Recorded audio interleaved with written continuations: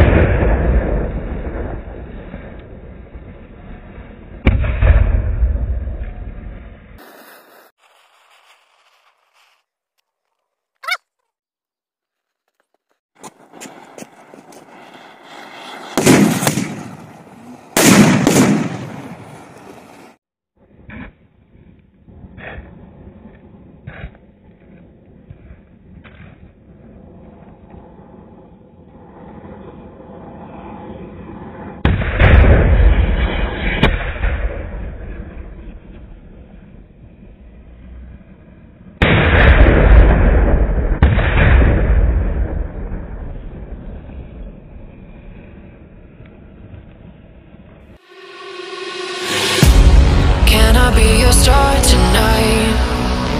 You fill my soul with light the day